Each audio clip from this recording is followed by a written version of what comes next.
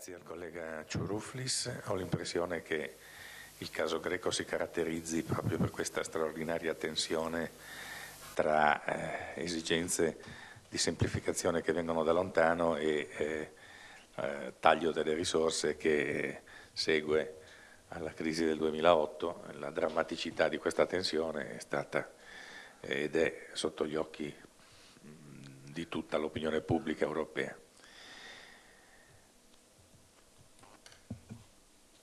A questo punto proseguiamo con eh, l'analisi del caso portoghese affidata al collega Luis Domingos Silva Moraes della Università di Lisbona.